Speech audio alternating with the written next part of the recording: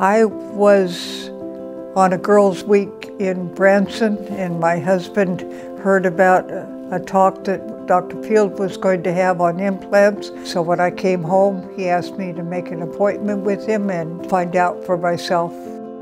Dr. Field impressed me greatly, and I was able to figure that that would be a good thing for me. I was wearing a six-tooth bridge that was breaking all the time. It was old and it needed to be replaced. I decided to go with the implants with Dr. Field. A removable bridge is not a wonderful thing, so this sounded like something that would be a permanent solution for me. They're easy to take care of, no pain, no problems with them at all. I never think about them. They're just there. They're just part of me. I can bite an apple where I couldn't before. It just made me forget all about teeth and worrying about them. That was the only difference, I think, for me. Everything was pain-free.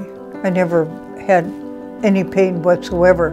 So um, I've had extractions in the past and that sort of thing, but um, because of the sedation, which is uh, very special with Dr. Field, I didn't know what was going on and that's the way I liked it. I went to sleep and woke up beautiful.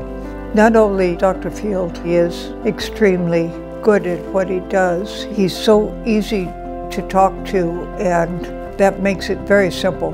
His equipment is really state of the art and his whole staff is equally knowledgeable. I highly recommend Dr. Field for implants and all type of dentistry. It's almost a pleasure to go to the dentist.